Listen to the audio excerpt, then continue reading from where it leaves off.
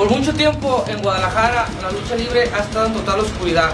Falsos profetas se han encargado de difundir una falsa fe. El de arriba me ha elegido para traer una nueva era y acabar con esos falsos profetas que solamente llevan a la gente por malos caminos. Tú sabes a quién me dirijo, falso profeta.